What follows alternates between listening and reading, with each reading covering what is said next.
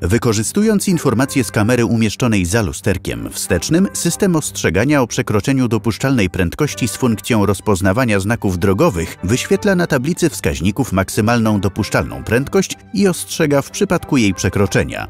Gdy funkcja jest aktywna, ale nie wykryła żadnych znaków drogowych, na tablicy wskaźników zapala się taka kontrolka. Kiedy kamera wykryje znak ograniczenia prędkości lub towarzyszące mu znaki, zostaną one wyświetlone na tablicy wskaźników.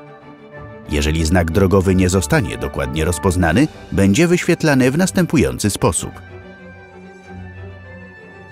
Gdy przekroczysz dozwoloną prędkość, zacznie migać obramowanie znaku wyświetlonego na tablicy wskaźników oraz rozlegnie się sygnał dźwiękowy ostrzegający o konieczności zwolnienia.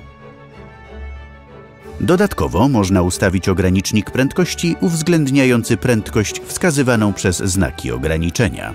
Jeżeli obie funkcje są aktywne, nie ma możliwości ustawienia ogranicznika na wartości przekraczającej ograniczenie wskazywane przez znaki. Ponadto, jeżeli dozwolona prędkość się zmieni na inną niż ustawiona w ograniczniku prędkości, naciśnij i przytrzymaj ten przycisk, aby podwyższyć limit możliwy do osiągnięcia przez pojazd lub ten przycisk, aby obniżyć limit.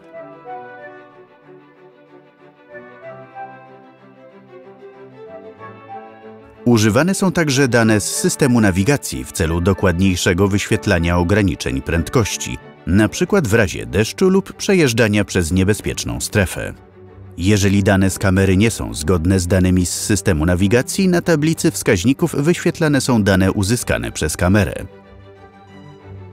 Oprócz tego, podczas jazdy w kraju, w którym obowiązują inne jednostki miar, na tablicy wskaźników wyświetlane jest ograniczenie prędkości z odpowiednio przeliczoną wartością z wykorzystaniem danych z nawigacji.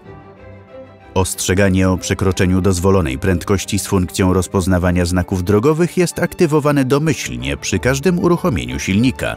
Można je jednak wyłączyć przy pomocy ekranu systemu EasyLink. Należy otworzyć menu ustawienia i wybrać kolejno Pojazd, Systemy. Wspomagające kierownicę, Rozpoznawanie znaków drogowych.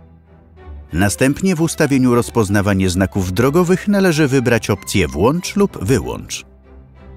Możliwe jest również włączanie i wyłączanie ostrzeżenia dźwiękowego w ustawieniu dźwięk przekroczenie prędkości oraz opcji wyświetl niebezpieczną strefę, która ostrzega o zbliżaniu się do miejsca, w którym zostało wykryte szczególne niebezpieczeństwo.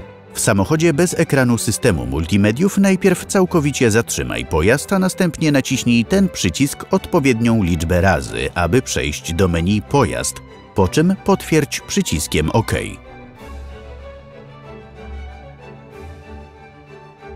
Teraz naciśnij ten przycisk kilkukrotnie u góry lub na dole, aby przejść do menu ustawienia.